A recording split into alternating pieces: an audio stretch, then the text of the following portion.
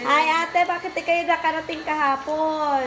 Ah, Kasi- dumating yung driver ni Sec Boy. Pasensya na po at busy po ako kahapon. Medyo naglinis-linis ng bahay. Yung pala eh, may surprise po yung mga anak ko. Birthday po, ko po kasi kahapon. Ha? Birthday mo? Ilang taon ka na ba? 66 po, ma'am. Aba, bata.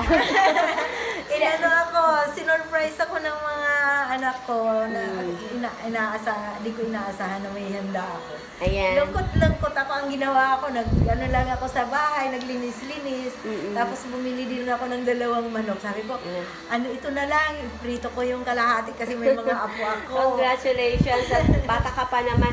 Siya po yung secretary uli natin, Sec, si Ma'am Emmy. Ayan yung message sa inyo. Ito yung mga bini. At si Ma'am Loretta ulit dumating, yung president ng ating association. Ganda umaga po, sir.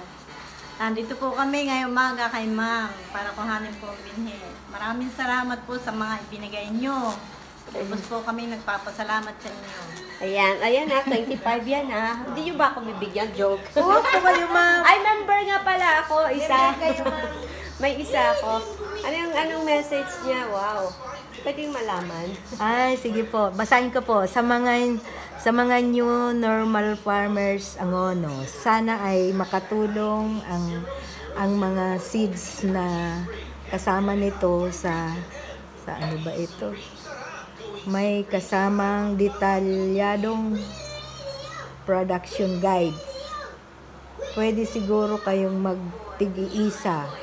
Hiningi ito ni direct ni director ano ba ito rin?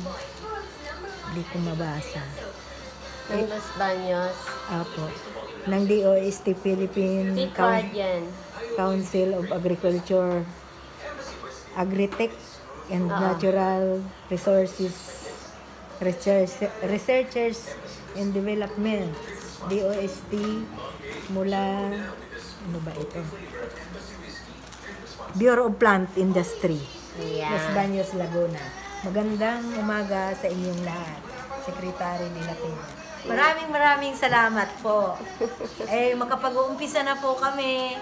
At akong, ako yung nag-ano ng, ng malaking pagpapasalamat. Ayan, so eto yun, di ba? Pare-pareho po ba, ma'am? Hindi ko alam. Kasi gusto ko pakialaman sana, kaso inyo kasi yan. Ay, may talong ito. Organic siya. Diba? Ayan. Okay, thank you din. Ito na mo. Oo nga, organic siya, diba? Ayan. Napakagandang pananim. Ayan, sige na, paalam na kayo kay Sec. Thank Alam you. po, Secretary. Salamat po sa inyo. God bless po. Pagpalain po kayo ng magandang umaga. Ayan.